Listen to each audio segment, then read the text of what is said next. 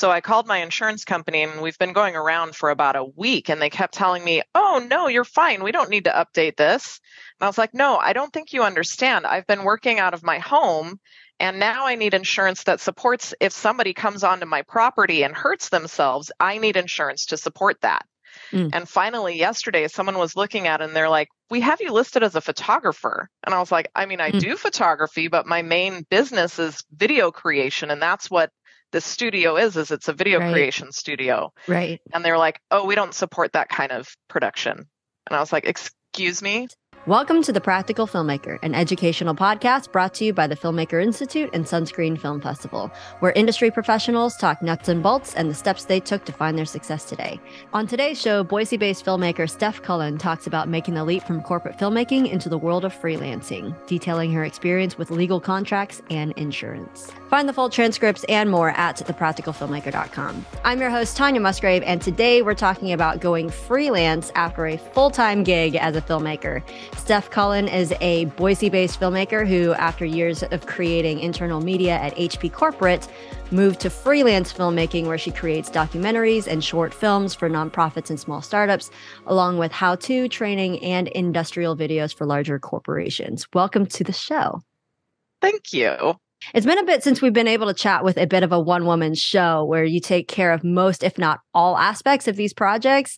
So, walk me through how you got to where you are today. Ooh, okay. So, how I got to where I am today, I worked at HP. What I did for them was for about seven years, I created internal video content. And that was anywhere from how to clear a paper jam, how to turn on your PC, how to find the serial numbers, all the way to things such as bring your inventor to work day, which is like bring your kid to work day. So I would go mm-hmm. around all day long just grabbing footage of all these kids running in and out of the building yeah, and then turn it into a recap video. And so that's kind of where I started was with HP. And while I was there, I pursued a Bachelor of Science in Digital Cinematography through Full Sail University. Mm-hmm. I graduated valedictorian. Oh. Mm-hmm. Oh. uh, that was 2017. Okay. Nice. So 2017 is when I graduated. That's also the year that I registered my LLC mm-hmm. because I was already starting to create content for local nonprofits here in Boise. Mm-hmm. And a lot of that was volunteer work through HP. And so I decided, let's just register an LLC and where, see where it takes us. That mm. was exactly five years ago. My anniversary was November 9th, was now oh. five years. Oh yes. my gosh. So, yeah. So, as I continued creating local nonprofit videos and working at HP, I started to realize how much I enjoyed kind of creating my own stuff. In February of this year, 2022, I took the leap and I left my corporate job on very good terms. Still mm-hmm. wonderful with all the coworkers. There's some mm-hmm. great relationships still, but I left and am now fully working for myself. Nice. So you went from you really did take a leap because you went from a full-time job with benefits, retirement, insurance, and these are not small things for artists. Like it is not all the fun securities that we can get. First, let's talk about why. I mean, there is something I know that burns real uh real deeply within artists and it's just kind of one of those things where okay you have to do it you have to create it or else you're just gonna your soul's gonna die. But walk me through the why of your leap. I mean that's a that's a big sacrifice. It is. I'm also in grad school so i'm gonna throw that out there as oh well Um, Not a lot at all. no, no, just little things. But the why was I don't know. We can blame it on the pandemic, which is mm-hmm. what a lot of people say for their lives I, as well. But at that point in February of 2022, I realized this is the time that I need to jump out on my own and try to figure this out. And because I do still have a great relationship with people at HP, I also understood that if I had to come back, I could. So, yeah, I just felt like it was the right timing to take that leap. And I kind of I do a lot of things on very specific days and times. And so I gave my notice on my 7-year anniversary in that job. and then within 2 weeks of that I I was done. That was my last day, which was January 31st. Well, that is that is very very specific. yes, yes. so with this pandemic, which was also not great for finances in general for a lot of people. um, walk me through what that leap meant for you financially. I can talk about that and then also kind of hit back on why that leap at that time. During the pandemic, actually, the work that I was doing for all the nonprofits got really busy. And the reason why is nonprofits still need to raise money. They still need to reach their donors, they need to reach the people who are volunteering for them, and they still need to reach that community that they have their nonprofit for. So mm-hmm. we've got people experiencing homelessness. We have people who are going through human rights issues all all things like that. So my work with the nonprofits got really busy because all of their events went completely online meaning nobody was in person. And so i created hours of video content for these various events. Financially it was a huge shift because with HP, I was making upwards of about 74K a year, wow, which is really great here in Boise. And yeah. it also came with benefits. I have a decent 401k. Mm-hmm. I had insurance, which was awesome because also in yeah. the middle of the pandemic, I had an appendectomy. oh my gosh. yeah. So I had to go through that. yeah. And then also days off. Like, you know, you get various holidays, and I got I think I ended up leaving with about three weeks of vacation time mm-hmm, mm-hmm. for a year. Oh, yeah. And as a lot of freelancers know, we don't get vacation time. It's no, every no. day, it's all certainly day not paid. no, you take a day off, and you are get like yeah, taking a day off of making. It's been tough mm-hmm. because mm-hmm. you watch that money that you were seeing come in every two weeks, and it's no longer there. Mm-hmm. So I do still pay my bills as if I'm on a every two week paycheck type of mm-hmm. deal. Mm-hmm. But now it's more, okay, maybe we don't go out to eat right now. Mm-hmm. Or mm-hmm. how about we turn the heat down a little bit in the winter time? Most definitely. I know that talking with just various filmmakers who they have a full time job on the side, they have a part time job on the side, they're driving for Uber Eats. You know, we talked about this a little bit with Nick Richey. He was one of our previous guests who you uh, know, instead of putting the down payment towards a home, he put it towards his film. and you know, I mean, it's just like whatever we do to make life work, to make our our art work, you know, like that's that's what we do and i think there's something to artists that we're just crazy enough to do that just because the passion outweighs the need sometimes you know I used to see a personal trainer five days a week. Yeah. I've had to quit that. I know how that goes. Yeah. Like, I don't know. Yeah. Gym membership? Nah.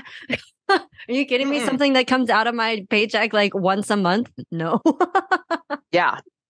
So you also went from corporations that I assume took care of the legal side of things, going into a freelance position where all of a sudden you are taking care of all of that. What did you do about contracts once you were out on your own? I have some that we kind of formed while I was in my bachelor program. It was part of the program is to learn about all of these, but I'm actually still working on legalizing contracts and making sure that they work for both myself and my clients. So how are you figuring out how to legalize these things? Are you are you talking to a lawyer? Are you talking to like how did you find the person to talk to about this? I am getting the keys to my very first studio today. Ooh. And in prepping for that, I had to create a what's called a letter of intent, which is a letter to the business building owner saying, I want to rent this space. This is what I want it for. But it's a very legalese type of document. Mm-hmm. And I went through here in Idaho, the University of Idaho School of Law, and it was entrepreneurship law. And I worked with a student who held my hand the entire way through creating this letter of intent. Mm-hmm. And as they work for me, they also have their professor who was in on the meetings and, and in on every single email, making sure that this student was properly getting all the legalese finalized in this letter of intent. Goodness. Wait, so did you already know somebody or did you just like kind of knock on the door of the school and just be like, hey, I want to create a letter of intent. Who's going to help me? It was kind of that, kind of knocking on the school door, but they do have this offering. Someone had mentioned it, and then I went to their website, and you can fill out a form saying, This is what I want. And then they look through it, and it takes them a couple of days to decide if they're able to take you on as a client. Oh, I think a lot of firms they have a set number of hours that they have to do pro bono work, and I'm wondering if if for universities and stuff that is a thing. I mean, it's worth checking out to you, you know, like your local university and you know seeing what's available to you. For yeah. the people who cannot afford, you know, seven hundred dollars an hour for a lawyer. Exactly yeah, so you've got all the legal stuff, and then you also become your own IT person. Within mm. about two weeks of taking that leap, one of my hard drives failed. Of course. Yeah.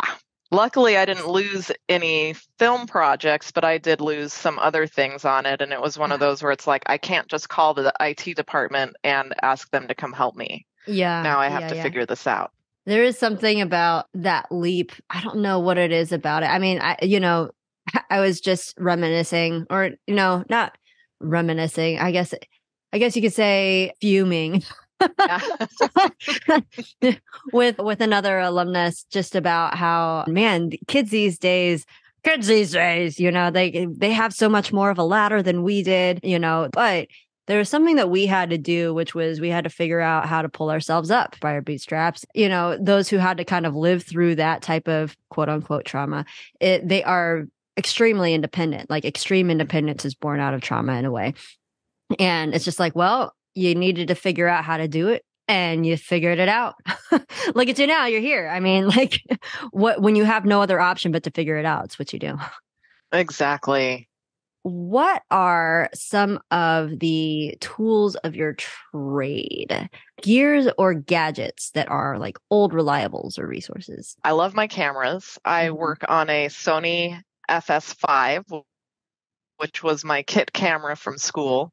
Mm-hmm. I carry that one all over the place. And especially because it's smaller, I just used it for a nonprofit event. What was it? Holiday Helper from the United Way of Treasure Valley. And I just walked around a very large cold room for a few hours for two nights. And having it, that camera was very helpful because it's smaller. Mm-hmm. I also have a Sony FX9, mm-hmm. which I adore and love working with, but it's much bigger. So that guy only comes out when I do like sit down interviews. yeah, yeah, yeah. Yeah, yeah, yeah. One of my favorite it's not a software, but it's a subscription that I have is with Artlist.io, which oh. is my music subscription. And I I use that nearly every single day. Mm-hmm. And it's got all different types of music. And the reason why I really like this and I will continue paying the money for it is because every single video that I create, they want music. Mm-hmm. And like for example, tonight is an event where they will show 18 videos that I created and each mm. video has a different piece of music in it. And then an event that I did back in February, I think I I think that one had almost 20 videos and each video had a different piece of music as well. And how about a favorite new gadget that revolutionizes how you work? That is a good question. New gadget that revolutionizes how I work. Well, if I could talk about software, it's FreshBooks, which is my accounting software. Ooh, yeah. No, no, no, yeah. absolutely. I really like it. And it was suggested to me by a friend who saw it mentioned by another YouTuber but FreshBooks, it can integrate with your bank account. So then mm. I don't have to manually enter my expenses. I can create proposals and then turn those proposals into estimates and then turn those estimates into invoices all with various mm. clicks of the button. And I can mm. track my time.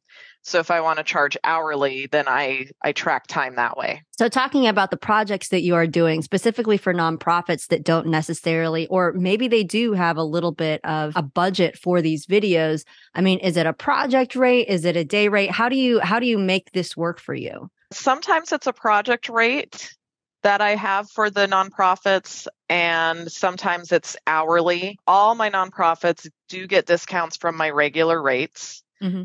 And when we go the project route, I've actually, what I do is I keep track of my time, whether it's just a project charge or hourly charge.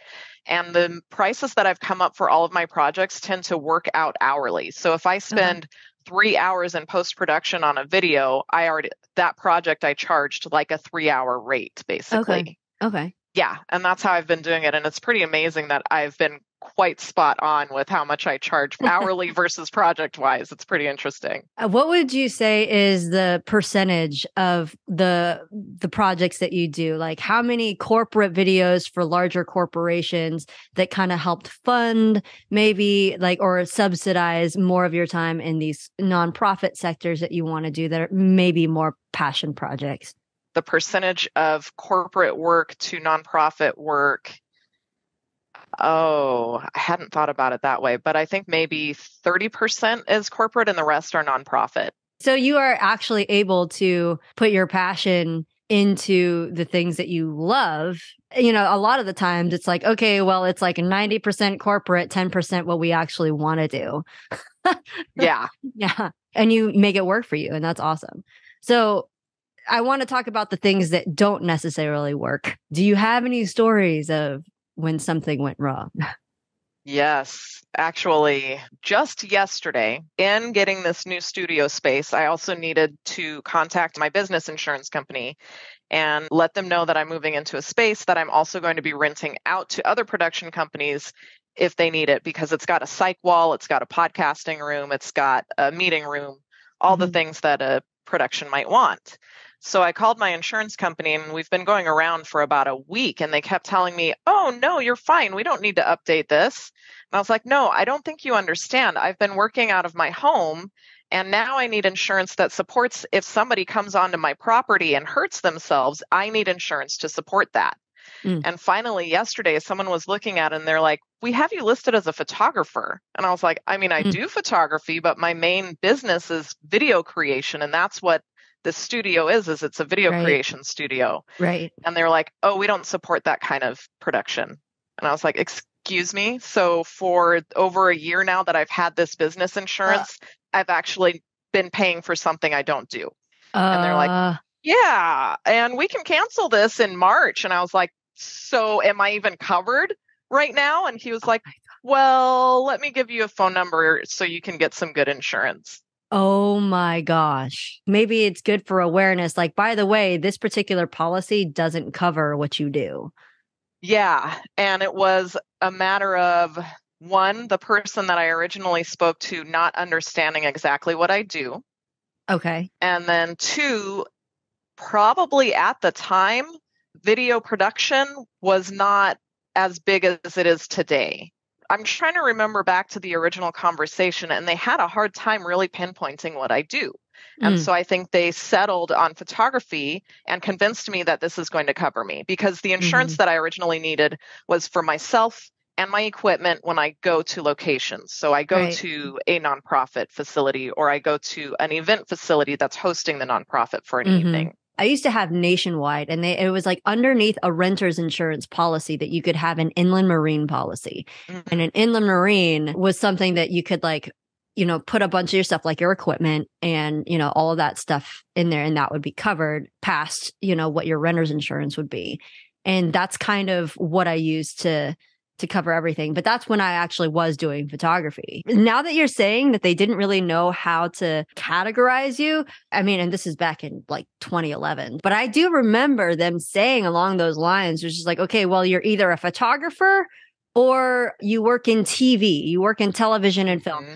And I'm just like, no, but that's not what I do and there didn't seem to be a filmmaker category. So what number did they give you? Did they give it like a completely different company? Is it under a different like name of a policy? They said I had a broker and I was like, I don't think I have a broker, but okay. So okay. they sent me back to a broker and it was so weird because I had to call and leave a voicemail. okay. Which, you know, we don't really do these days. So I called and left a voicemail. And mm-hmm. then I started doing some research and I found a broker, I guess, which is a this umbrella company. You tell them what you want. And then last night she told me that they will reach out to up to eight insurance companies. And I will start getting calls today to try to get the correct insurance. And I need the coverage almost immediately because I get yeah. keys today. Right, right. Seriously. So, with your space, are you covering renter's insurance with that space? So, is your policy going to be under renter's insurance? I think so. And I don't understand insurance well enough to know all the Oh, who ins and outs of it. My gosh, But ah, yeah. Yeah. That's the thing though, is you're trusting these people to understand what your requests are. yeah. Yeah. And then all of a sudden you find out I wasn't properly covered for Yeah. over a year. what have I been paying into? A pit. That's it. My gosh. Yeah. So, well, I hope you Yeah. figured that part out. My gosh. Uh, well, that is definitely something that went wrong. Yay. In any case, so one of the things that is on your site is so is it OMG female filmmakers? yes. Tell me about that. So I came up with the name OMG Female Filmmakers back while I was doing my undergrad. And it was one of those where you show up on set and you're kind of one of the only females there. And we all make mistakes, but it felt like I was made fun of a little more for the mistakes that I was making. and so I just would start throwing out the phrase, oh my God, female filmmakers. How did I not know this? And it kind of stuck. they exist. What? Yeah. Oh my God, they're real. so that's what I decided to call my company. But during all of that, I was working at HP, and it Mhm. was odd for people there as well to see this female in a position of like tech stuff, you know? Mhm. Granted, HP is a very progressive company, but there's still there's a girl behind a camera. That's mm. weird. It's like, Yeah. yes, I'm here. yeah. Yeah yeah yeah. Yeah. I mean i think it's changing you know? I think there's there's definitely a, a shift on the horizon that i've noticed. I put together some events and i you know would put together a roster of people to talk to you know oh hey you know let's put together this documentary panel and actually it was an old professor of mine you know white male you know he was he was the one who pointed out to me were you aware that or you know did you notice that there were actually no females on this panel and there are also not really any people of color? And i was just like oh my stars. Like you are 100% right like you know in my mind i mean and some people they'll fight for this like i just want to be a filmmaker you know? Like i don't you know i don't want to be a female filmmaker. I don't want to be an asian filmmaker. I just want to be a filmmaker.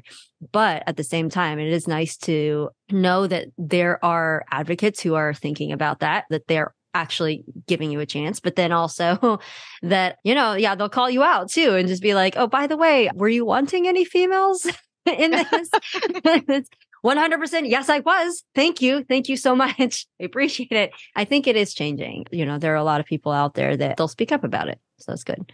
Yeah, Um, that is really good. Mhm. So with your nonprofit work or, you know, what would you say is your favorite to work with? One of my favorite nonprofits to work with is called the Wassmuth Center for Human Rights. Mm. And it might be because they were my first, but they do so much work in our community for human rights. And we've done anywhere from video content for their events where it's talking about this program and that program to they took me to Cambodia one Oh, year wow.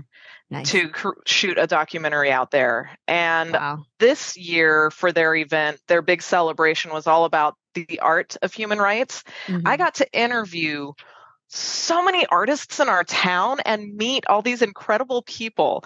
And it's Yeah. artists from a mosaic artist to a metal artist to wood carving to painting to this other type of painting. And Wow. Wow. that was the best because I just got to meet some incredible people in our our town of Boise. When you're talking about doing these projects, I know that you say short films as well. So would you say that you gravitate more towards documentary than narrative? Now, yes, because that's the need and the want. But when I have time for myself, which is not very often, I do love creating narratives. I love comedies only because I want to make people laugh because life Mhm. is so, there's a lot going on in life. And to provide a little bit of humor and a little bit of laughter is something that I love doing for people. Mhm. And one of my most recent narratives, I didn't write this one, my friend Allie did, but it just won Best Comedy last year at the Misfit Film Festival in Arizona. Oh, nice. Very Yeah. nice. it's awesome. So you've been at this for since February, right? So a good solid nine months of it now. I want you to give me a highlight and a low light of your experience so far. Having leapt into the abyss, what is a highlight and a low light? Mm. Highlight is I am my own boss. Mm. I only answer to myself. Mm. Low light is I am my own boss. I only answer to myself because I'm still going through the process of letting go of that corporate lifestyle because I didn't take a break. So I left my last day at HP was January 31st and within a day already I was doing work outside of like for nonprofits or anything. So you had else. already lined stuff up. Oh yeah, yeah. Mhm. There was no break. Yep. Yep. I had that stuff lined up. And so I'm still working through the process of kind of not getting rid of that corporate life, but realizing that it doesn't have to be so regimented. Mhm. Like my hours, you know, I get anxiety if I'm not sitting at my computer checking my email at 8 a.m. Oh, No, I'm my boss. Who No. cares if I'm not sitting there checking email at 8 a.m.? So that's the low part is also reminding myself you are your own boss. You you can make your own decisions. I can imagine that is quite a transition. Maybe this is like part of a pandemic thing too, but I remember having a little bit of wait, I can drive down to Utah. Wait, is there any reason why I can't? Wait, no, I don't have to like, I don't. Uh, yeah, that's right. Like I don't have to submit anything. I don't have to get anything approved. Like, like I'm not using up PTO. I'm not like, like all of this stuff. I did a whole like many years more of freelancing than I did of corporate. I only did three and a half years of corporate, and so you know it was a pretty fast transition for me. But at the same time, I remember it was like a night of anxiety where I was spending over half an hour trying to figure out what form of toothpaste that I should take. Should I like, I, oh, should I t- travel? It was so dumb. It was the dumbest debate that I had in my head. When I could have thrown the whole tube in my car because it was the car. I was like, I was, I was driving. It was so dumb, right? But it was like the travel anxiety. I think part of it was from the pandemic too. But like, you know, realizing that you don't have anybody to answer to. And well, and then also, oh no, I don't have anybody to answer to. Like nobody, like if I don't eat, it is my own problem. Yep. yeah, exactly. If I choose to stay up until 1 a.m. editing video and then feel like I need to be up at 5 a.m. the next morning to start working on emails, that's on me. That is Mhm. my problem, not Yeah. anybody else's. yeah. If the old you could see you now, what would the old you say? I was actually having a text conversation with a friend from junior high school about this last night. Really? Yeah. So I have a very good cinematographer friend here in Boise, and it turns out that we both went to the same junior high and high school, but this was back in Washington State, okay. not even here in Boise. Neither of us are from here. You know, I've always wanted to make movies, even when I was doing theater. So I started on the theater stage in mm-hmm. junior high school and then moved into that in high school. But when they would ask you, what do you want to be when you grow up? All the friends would be like, I want to go to Broadway. I'm going to go to New York and be on the stage. And I would say, I want to make movies. So, yeah, I think my younger self would be very proud of where I am today and also a little shocked like, wow, you're actually doing this? what happened to marrying the doctor your parents wanted you to marry? that comes with its own baggage, I'm guessing. yeah. oh my gosh. The question that I love wrapping up every interview with is what question should I have asked you? What's my favorite movie? Ooh, what is your favorite movie? Goonies. yes, you cannot beat nostalgia. Why is you it your can't. favorite? Why is it your favorite? It came out in the 80s when I was a kid. And that is the one movie that my I'm the oldest of four kids, so all my siblings and then all my cousins out in Hawaii, which is where I'm from, we all talk about the Goonies and they all have kids. I don't have kids of my own, but they all have kids and all their kids have to watch the Goonies. and it's just one of those movies that we all of us identify with. That's me with Sandlot. Like I always make people watch Sandlot every Fourth of July. I don't know why. There's a, it's a it's a thing with Fourth of July. You just got to watch the kids playing baseball by the like under the light of fireworks. Like, come on, with America the Beautiful playing in the background. I don't know, but man, yes. yeah, Sandlot is yeah, that's nostalgia. You can't beat it. Mm-mm. Well, we really love chatting with you. How do people find you or follow your work? This is your shameless plug up. Okay, so you can find me at my website, which is omgfemalefilmmakers.com. And then if you are interested in booking a tour at my studio, which we will have a soft opening in December, that would be omgfemalefilmmakers.com slash omg. I think there's a hyphen in there, studios. Thank you very much for sharing your experience, your story, and your time. Thank you for having me. This has been great. I love talking about this stuff. If you enjoyed this interview, follow us right here and on Instagram, ask us questions, and check out more episodes at thepracticalfilmmaker.com. Be well and God bless. We'll see you next time on The Practical Filmmaker.